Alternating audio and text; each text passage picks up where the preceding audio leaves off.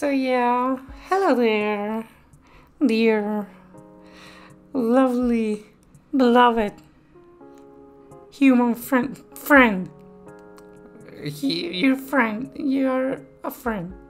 You're my friend. All right, we're friends.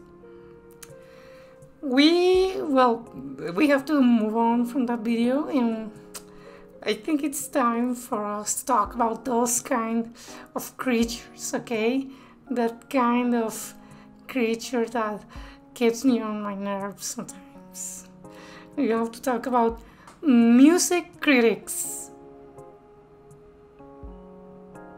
Or you know what? Let's not talk about music critics, alright? Let's just skip all that because who cares? Life is too short to get into discussions or whatever. I don't know. okay. Uh, let's talk about music. Listen, the thing is that music doesn't represent anything at all. Like, it's a non representational form of art or something. You can really say like what happens in movies like say this movie is stupid. The world will just simply save the main character at the end. He's not badass, he's just unlucky to a rational degree. And even then So that's the thing. If I'm going to put a drone interlude that is 65 hours long in my power pop J rock album, I can't just freaking do it because music doesn't follow logical progression. I mean, in the sense that there is no main character or plot or things in general, so or it's not like we start with a thriller and we end with a black comedy at the end or something. Everything what I was saying made sense in my head until now. What the hell is going on? yeah, yeah, I mean, lyrics and concept albums with stories are a different matter. Please, we will get there in due time. Hmm? Movies, you, I mean, there is like some expectation about the plot. Every time I give an example, some other example in my head comes up to contradict my my statement, and it's getting me insane. I mean, okay, just follow me, follow me along, follow me along by now. All right. If imagine if I decided to make a post rock song in my nu metal rock album. If I'm all into nu metal, I would say, what is this dumb, stupid, slow, getting nowhere song on the, of the record? But if I'm into post rock, I will say something like, what the fuck? Limp Bizkit made a post rock song? Even before Godspeed You even released their first record? What? But still, if that happened to me, I guess I would say it was pretty cool.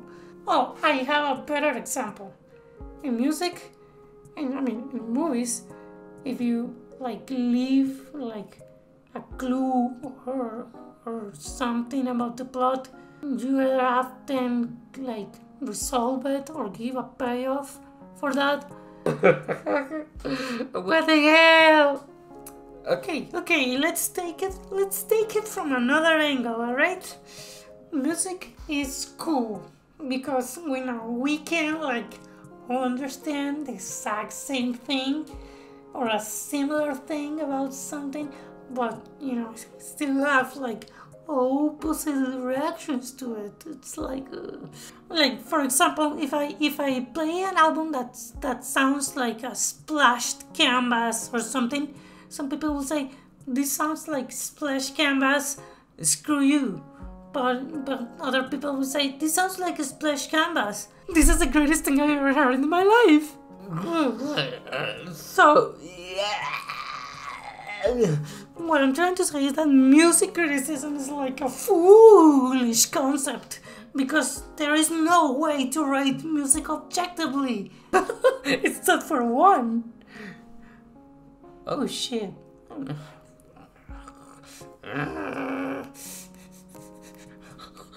Let's go one by one. What if music is, I don't know, very repetitive? If something is really repetitive, you can really say it's bad because of it. Because to some people, making music that is repetitive is what makes it good. You you can have drone albums with songs that are 30, 50, 70, 1000 minutes long and they are consistent and repeating loops with the most minimal duration. And you can evolve from that as well. We we can add some sense of progression little by little and you know a song like changing the frequencies slowly or adding some harmony slowly slowly and then you have minimalism or something like that or whatever. You can do thousands of variations in how to execute music that is strictly about repeating yourself. And that's what is great about it. What if music is that is i don't know too noisy what if you don't like something that has a lot of noise and you can't distinguish anything at all from what you're hearing? yeah, some people will be up for that sensation. Pure noise made with just instruments? You have it. Noise made with electronics? With no logical sense of progression of musical cadence? You have it. The most cacophonic, headache inducing frequencies that might cause you tinnitus if you listen them once? You have it. Even if you call this noise or not music, that is not music, that is just sound. Even if you say, this is not my hyperdimensional epic hardcore funk band, this is just a sellout, there will be people that like the cheesy, poppy stuff. It is what it is. We can't change what people think, okay? We just can't change what people like. Music is not like movies where you can say that person is dumb. That romance drama. No woman is going to act like you like that ever. You're deluding yourself. you're, you're deluding yourself.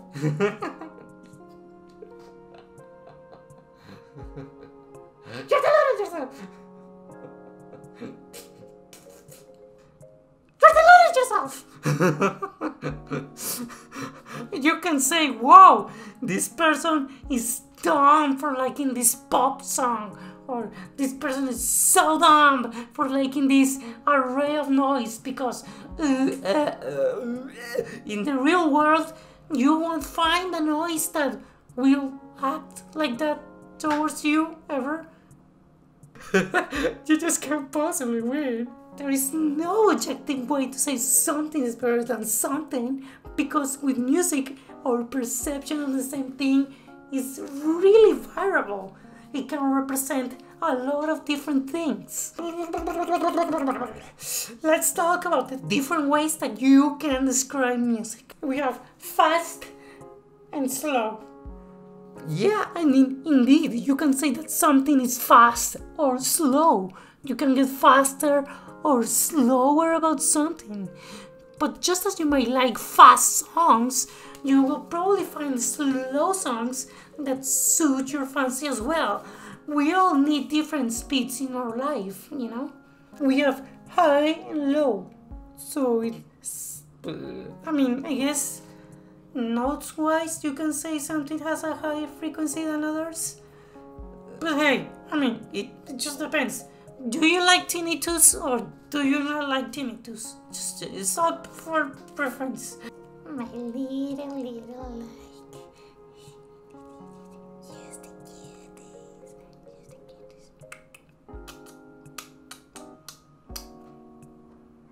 the cutest. Virtuos and non-virtuos. You will find people that say, "Hey, this is so virtuous that it sickens me." Just uh. uh, uh uh, Mm-hmm. just toying around with fireworks and doing pyrotechnics. Where's the heart? Where is the heart? Are you a machine? Do you have no emotions? But again, that's the thing. Enjoy music whose sole purpose is doing interesting thing at a theoretical level, is not really wrong either. It can be fun as well as saying, Yo, that 9-8 syncopated augmented diminished rhythm chord beat is just insane! It's just like a party trick! they won't be wrong either since they're, you know, having fun. You can also cover both the virtuos, fanatics people, and the people who want something emotional and human. You can be really cheesy and have a lot of art and still be trashed away because you were the first prog metal band they heard and now they're feeling self-conscious about liking it. People will trash you away anyway, so what's the point? What's the point? I mean, it's it's it's backwards. It's backwards. What do you want me to do? Like, wear it upside down? Loud or not loud? We have walling and stuff like that. Okay, yeah, but I mean, you get the idea. Some people will like the walling. You can say, hey, it feels as if the band is popping up on the record trying to push away. And other people will say, I can hear the frequencies. Where's the nuance? Where is the nuance? So, yeah, some people like it, some people won't like it. Most of us humans don't even notice it ever in their lives. So, yeah, you get the idea. We can go on, so on and so forth, but I'm writing the script with a flu and I just want to go to sleep. Let's move to the last one, okay? Originality. Originality, in my opinion, is the only criteria that I feel could objectively apply to music. Please, bear with me first, okay? You might say, Hey, originality is also subjective. I could be not familiar with all the styles of these artists making. I find their music refreshing and original. Okay, I get your point. But wait, I need to scroll down the page. Here you go. Actually, I'm thirsty.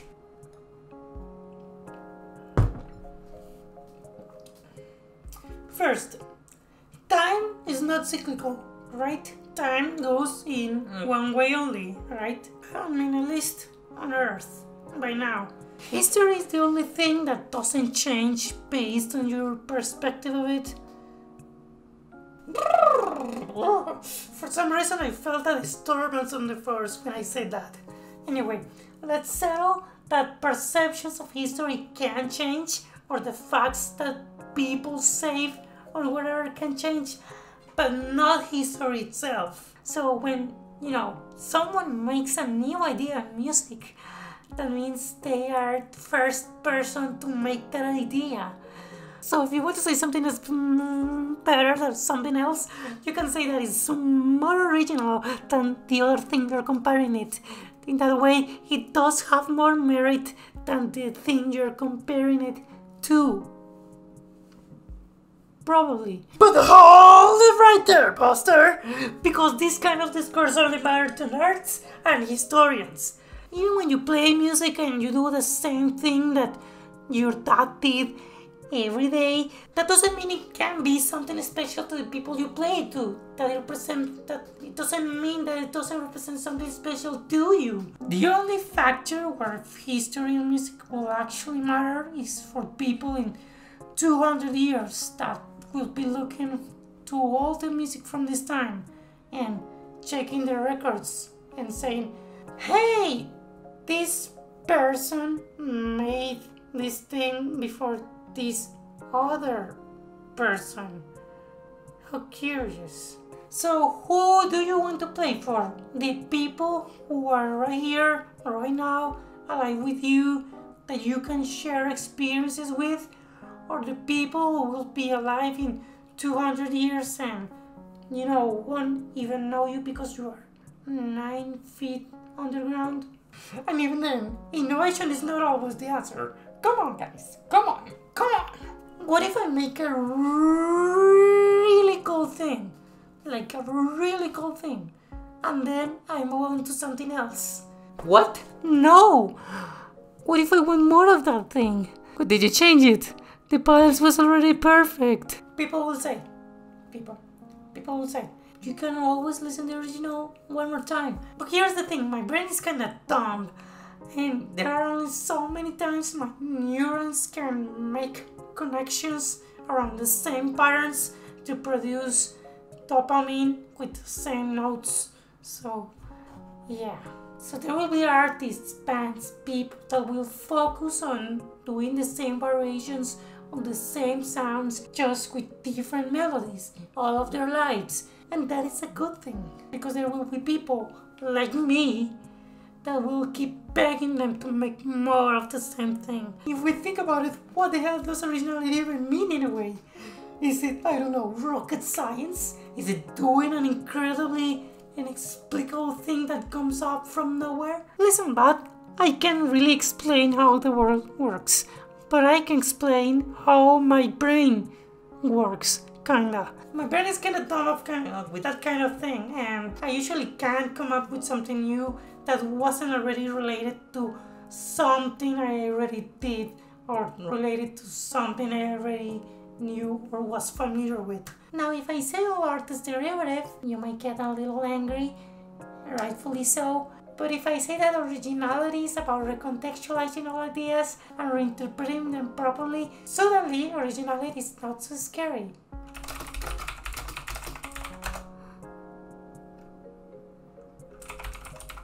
The way that you can really be original is to combine more and more ideas.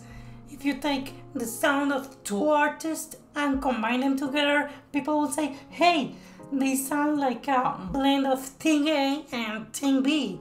If you mix five to seven things, people will say, hey, this artist sounds like all these artists put in a blender. And if you mix 10 to 30, 50, 100 things or whatever, well, good luck getting a cohesive idea out of that that doesn't sound like someone zapping through channels. Sometimes it works, and people will say, hey, this sounds like something I never heard before. See what you did there? What you did was diffusing the original sauce so much that it just became unrecognizable. In that scenario, you will have one music. The only problem you will get is trying to find someone that is actually into the thing itself. So yeah, well, cataloging what music is original or not can be fun. It doesn't explain how great can be to a person. And as we saw the previous video, or you know, the previous train record recording I did before, if there's something I learned about life, it's that there is a 50% chance of losing of something if you are using math. If I rate things historically, it's because I find it fun. You know, it's like saying, hey, this sound came before this sound, or this other sound evolved into this sound. It's a very nice way of finding the natural progression of ideas in the world because it's interesting and, and fun because I'm a nerd too. I so maybe I don't know, maybe we can entertain the thought and make a quick fear of ratings. So 100 points. Music so original, so damn original, innovative, that changed all music cultures everywhere, forever and ever. Every single person of Earth in every continent and country. I, I really haven't seen a record that has done that yet, so let's just keep it to one music culture or whatever that is. And yeah, let's change the rating from 90 points to 100 points two or more subgenres came out from this album, we can say it's the 90 points to 100 points category. We all know that 100 points album is, and that album is The Velvet Underground and Nico. Probably. I really haven't heard that album in years. Yeah, I know what you're saying. You could also say that writing music that is original but wasn't influential to anybody is a foolish thing. And we should write music that is really influential even if they weren't that original. But hey, we have to play devil's advocate somehow. What am I supposed to do? Not? You're insane. 80 points to 89 points. Music that is so original, so original so original that can spawn like a new subgenre or genre based on those ideas. Like, for example, Loveless with guys, it is a small subculture, a small genre, but I will say does fit. From 70s, from 79 points, we have music that is so original, so original that gave up a new interpretation of a subgenre or genres into a new subgenre. Or maybe gave ideas so unique, so unique that came up with a new interpretation of the genre from 60 to 69 points music that is so original so original to the point that it adds like a couple of new or refreshing ideas were completely leaving an established genre we added grunge to our prog metal band you can say hey this sounds like 6 to 10 ideas repackaged into a new idea. I know what you're asking. What is a new idea? Well, I was thinking maybe a new idea is an idea that can be replicated on its own. If I like can take your sound and replicate it and still sounds like your sound and not the sounds that became before you, that means it's a new idea. Kind of from 50 to 59 points. Music that is slightly original and gives a new interpretation of around 4 to 5 ideas, like variations of albums made by the same band. Hey, we did the same album as before, but this time we are using vegetables instead of drums. Okay, so we have from 40 to 49 points reinterpretations of two or three pre-existing ideas, like saying hey, we made an electro pop album, the same exact pop album as before, but this time the we're using different synths.